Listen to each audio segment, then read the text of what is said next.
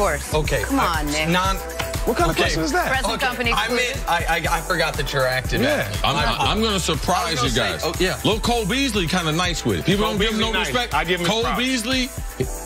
I got to go with Lou Will and Dame Lillard, though. And Marquise Daniels. Damian Lillard's who I thought. Marquise Yes. Daniels Yes. Le'Veon. Bell, I heard the mixtape's not bad though. I haven't listened to it. I'm not gonna lie, but I've heard it's not bad. Cole Beasley's nice. And Jenna, did you say 315? Is it Is that 305? Syracuse, New York?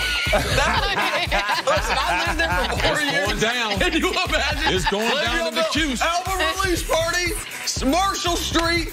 Holler at us. Nick Rice providing all Black and Milds and everything else you might need to 100%. get I the got head your right. bunker spots too, L Bell, if you Get need that head Black tight. and Miles. Uh, let's get back to the NBA quickly, please. The Celtics continued their up and down season, losing to the Nuggets last night just by 30 points and four steals from Kyrie.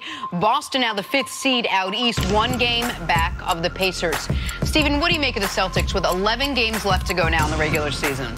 Well, at, at, at this point, I think they're comfortable in knowing that they had a terrible year, but they're trying to figure it out going into the playoffs. They they haven't been playing well all year. Kyrie's been solid. We know what Kyrie's going to do. We know what he's going to do in the playoffs. We still worried about the other guys. I think mm-hmm. these these guys were a different team last year without Kyrie.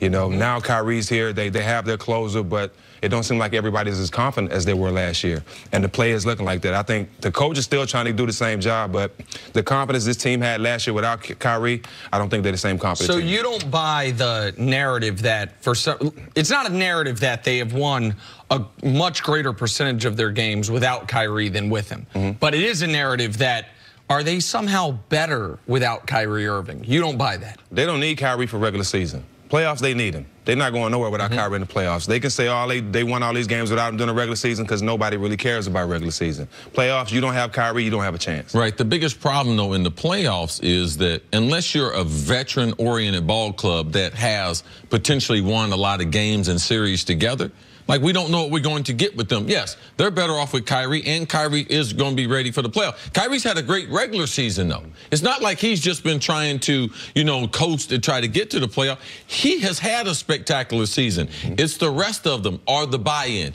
Jayson Tatum, did him working out with Kobe and all the other things from year one to year two. People saying one day you're going to lead the NBA in scoring. Well, well, really? Jaylen Brown, his lack of minutes, being rotated in with Gordon Hayward. Should they have been playing him those minutes? Yeah. Um, Rozier, the point guard. I deserve to be a starter. I'm trying to get a new contract. And Brad Stevens, this is the most talented team he's ever had, getting the least results. Typically, what he gets from a Butler or when he went to where he coached in college, undermanned, two and three star recruits turn them into potential champions. We saw with the Celtics when they had injuries and not the talent they have now, what they did in last year's playoffs. So those are some of the things that I don't believe that because they haven't won a bunch of series together. If it was Golden State, if it was Houston or some other team, even OKC, I've been like, you know something, I can understand them. It's hard to hit that switch when everyone else has hit their switch also. You don't believe all those things can come together for the playoffs? I, it would be to me. It'd be shocking. I listen. The, the Celtics are, and Indiana's just been disrespected all year long, and I'm going to continue it here. Like the fourth in the East, we just disregard them since they lost Oladipo. I don't think most many people believe they can be even Eastern Conference finalists. So there's Milwaukee, there's Toronto, there's Philly, there's Boston, and could Boston beat any of those teams in a series? Yeah, they could. Could they win consecutive series against two of those teams? What we don't believe is a month, though. A month, exactly, which is what it takes. Could they do it for two weeks to win one of those series? Yeah.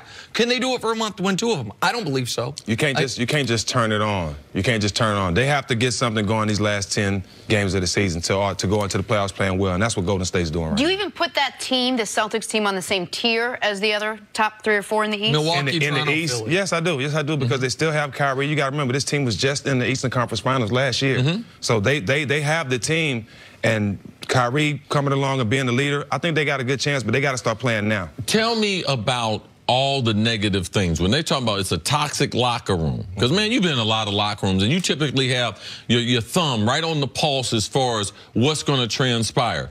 All the things they said about it. the one thing that I see with the Celtics, they don't share the basketball like they used to. They're not playing team defense. But man, when you tell me it's toxic and I don't like being here or I don't like being with you, mm-hmm. man, don't you think that's going to affect them going into the playoffs, Steve? Well, I, I, like I said, I talked to Kyrie doing all this going on, and the main thing with him was, there's no sense of urgency.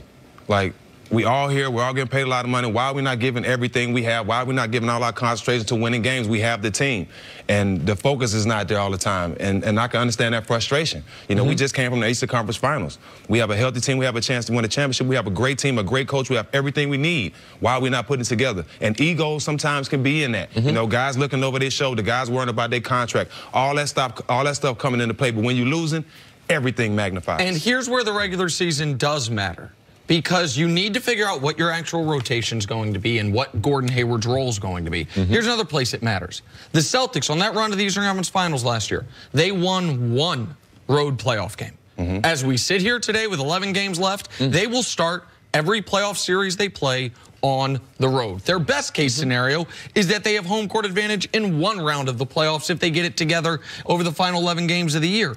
And when you said everyone makes a lot of money, that's the been the underlying story with the Celtics all year long is three of their key rotation guys, Tatum, Brown, Rozier, mm-hmm. haven't been paid yet. Mm-hmm. Marcus mm-hmm. Morris is a pending free agent. Yep. They build so, in their resume. Right. So it's it's tougher to ask a guy to t- make a sacrifice and to do what's right for the team when they are yet they ain't made no All-Star teams. They haven't they, they have no accolades in this league yet, and they haven't gotten their check. So for those reasons, that's it's harder when Kobe's telling you, "Hey man, Mamba mentality, go be the leading scorer." Jaylen Brown, you go be a poor man's Kawhi Leonard, or Marcus Morris, you're going to go get paid. Mm-hmm. Okay, now we all now it's about team success. That's that's easier with a veteran team who's gotten their money. All right, Stephen, thanks. We come back tomorrow? Thank you. Yes, I will be. See you tonight, bro. All week. Yes, sir. Coming up, are the Cowboys about to sign a big-time free agent? Next on First Things First. Rotate that, rotate that cologne on me, too. Really strong on Monday. Bounce back with a five-star selection on Tuesday. Wednesday, I like a little something. I needed legal advice for my shop. That's when I